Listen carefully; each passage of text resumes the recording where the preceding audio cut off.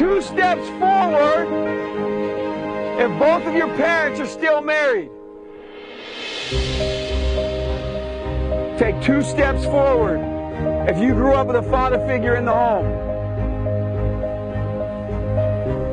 Take two steps forward if you had access to a private education. Take two steps forward if you had access to a free tutor growing up. Take two steps forward if you've never had to worry about your cell phone being shut off. Take two steps forward if you've never had to help mom or dad with the bills. Take two steps forward if it wasn't because of your athletic ability. You don't have to pay for college.